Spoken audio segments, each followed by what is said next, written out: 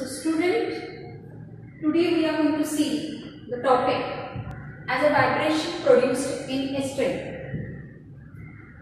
Now already in the previous two lectures, we have seen the vibration of air column when the pipe is open at one end and also we have seen the vibration of air column when the pipe is open at both the ends, right? And during that vibration of air column, the sound wave is get reflected either from open end or from closed end. And then there will be a formation of longitudinal stationary wave in the form of nodes and antinodes. Now here in the vibration produced in the string, in that what is the case? Here we are going to consider a string. This string will get stretched in between these two rigid support.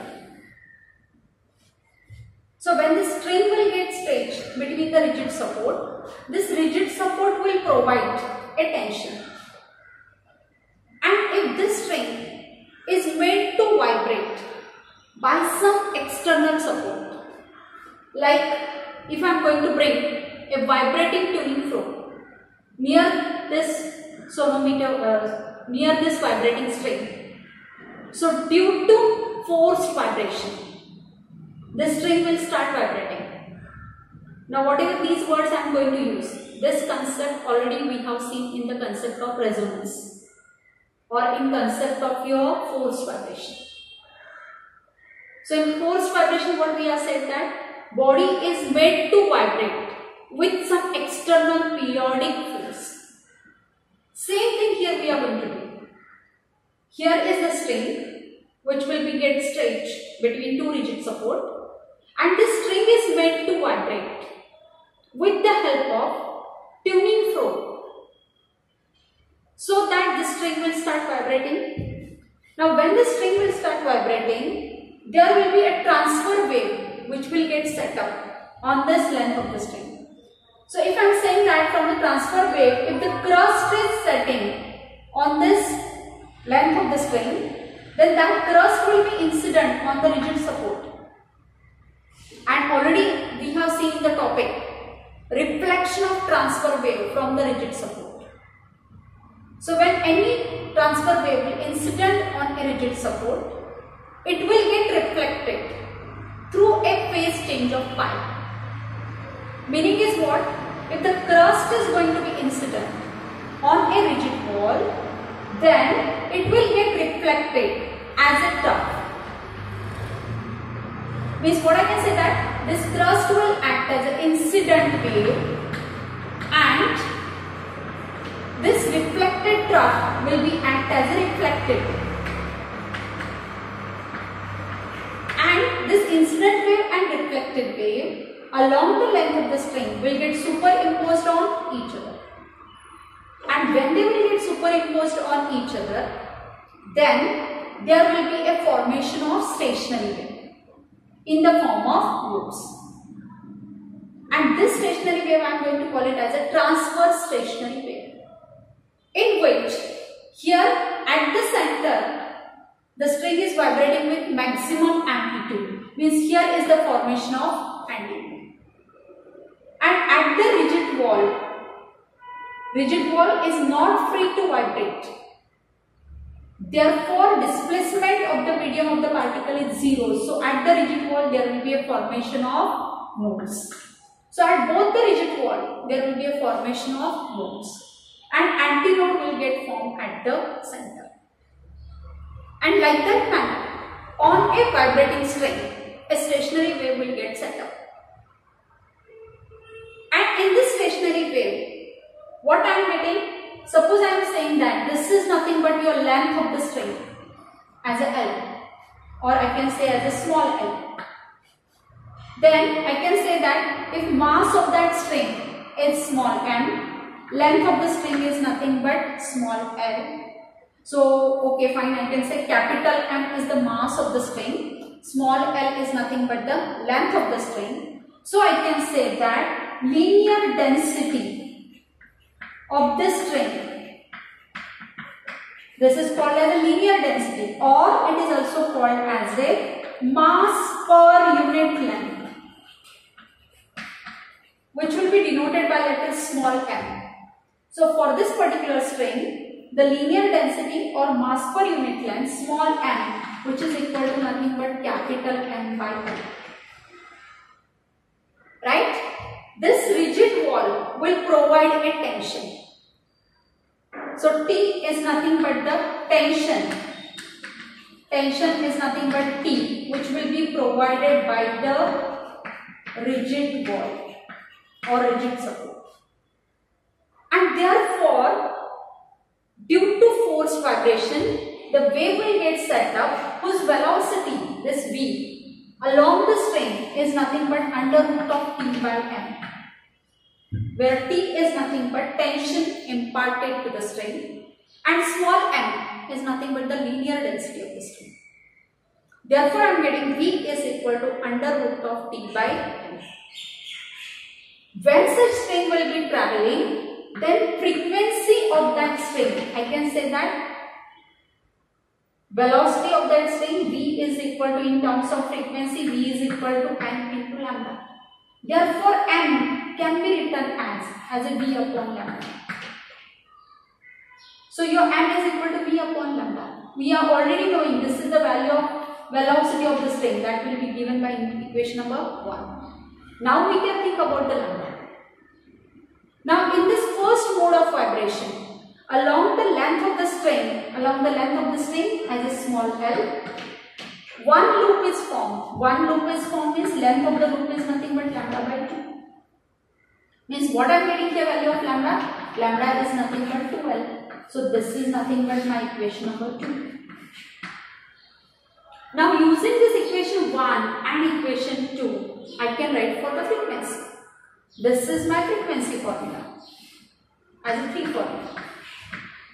So in this frequency formula, what I write? Frequency n is equal to V. What is V? V is nothing but root T by m divided by, what is divided by? Lambda. Lambda is how much? 12. Means what I write? Frequency n is equal to 1 upon 2l into root of T by small m. This is nothing but the frequency by which the string will vibrate and this frequency value is the lowest value lowest frequency that's why this frequency is to be called as a fundamental frequency of vibration so by this fundamental frequency your string is going to be vibrating so this is to be called as a vibration of an vibration produced along a string and this mode is to be called as your fundamental mode. So in fundamental mode, what important point we can note down here? In this fundamental mode, I am getting that the string is vibrating along the along the length. During that there is a formation of one loop. One loop is formed. This is point number one. Second, in that one loop, two nodes will be formed at the rigid support and one antinode will be formed at the center. Due to that, what I am getting? Fundamental frequency. The string will vibrate with fundamental frequency n is equal to 1 upon 2l divided by t by n. So this is your fundamental frequency by which your string is vibrating. I can call it as equation number 8. Similarly now, I can show the two more modes of vibration. So I say now, here I can consider a second mode of vibration. How I can produce a second mode of vibration? I will consider here rigid support. In between these rigid supports, your length of the string L is there. And if I am going to pluck the string at the center, so due to that plucking, there will be a formation of trough which will incident on rigid wall and at the left side there is a formation of crest which will incident on this rigid. So crest is incident on rigid wall on the left side and trough will be incident on the right side. So your crest will get reflected as a trough and trough will get reflected as a crest. And here I am getting the second mode of vibration. So in the second mode of vibration, the two loops are formed along the length L. Means what I can say that this L can be written as lambda dash by 2 plus lambda dash by 2 because two loops are formed. And two loops are formed, what is the thing? At the rigid support there is a formation of node. At the center and plucking point also there is a formation of node. And here at the center of each loop, there is a formation of antinode. Means what I can write here? Here I am getting that along the length, there is a formation of two loops. And length of each loop is nothing but lambda dash by 2. So L is equal to lambda dash by 2 plus lambda dash by 2. So L can be written as a lambda dash. Clear? Then we have a formula. Frequency n is equal to v by lambda.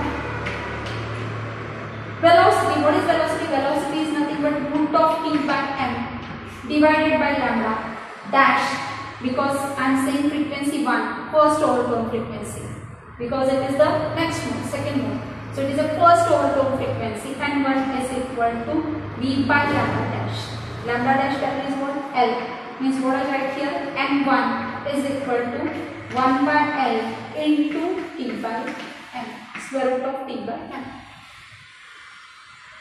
Right? Now this first order frequency I can with this fundamental frequency. See here, this in fundamental frequency here is the factor 2. If I shift this 2 factor in multiplication with n, so what I am getting here, this 2 factor will come here, I am getting 2n. 2n is equal to what is remaining? 1 by L root of T by means this overtone frequency is equal to nothing but 2n. First frequency is nothing but here I am getting as a 2n. Right? So this is called as a first overtone frequency or it is also to be called as a second harmonic frequency. So this frequency has a two name. Either I can say as a first overtone frequency or I can call it as, as a second harmonic frequency.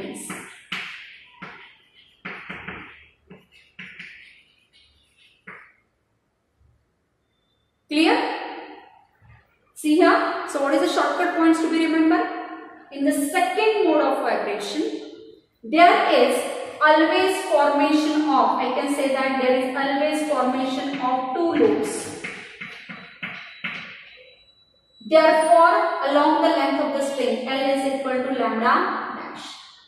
Hence, what I can say the next point, how many nodes are formed? Three nodes and two antinodes. So that point I write down three nodes and two antinodes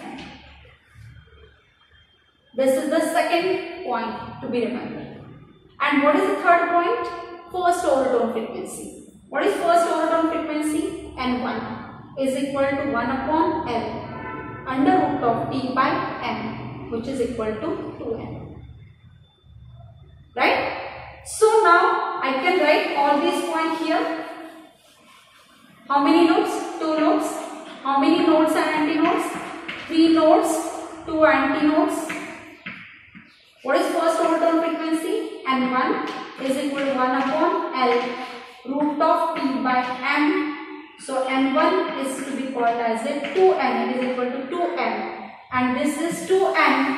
So it is to be called as your either first overtone frequency or I can call it as second harmonic